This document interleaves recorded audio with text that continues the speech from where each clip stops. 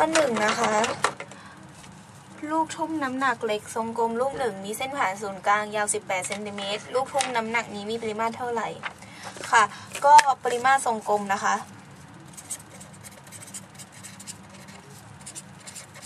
จะเท่ากับ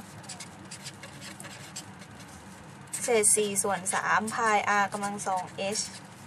ค่ะ ข้อนี้เขาให้เป็นเส้นผ่าศูนย์กลางมานะ เราก็จะต้อง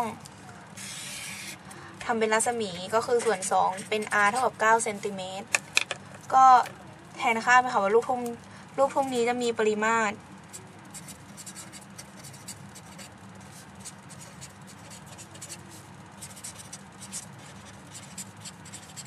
เท่ากับเศษ4ส่วน3พายเป็น 3.14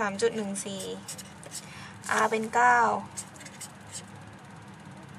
เอ่อ ขอโทษนะคะ ตรงนี้ไม่มี h นะคะเศษ4ส่วน3พาย r กำลัง3ขอโทษค่ะ ขอโทษค่ะ4ส่วน3พาย r กำลัง3นะ4ส่วน3พาย แล้วก็ r กำลัง3คิดเลขออกมานะคะ ข้อนี้จะได้เป็นลูกทุ่มน้ำหนักจะมีปริมาตร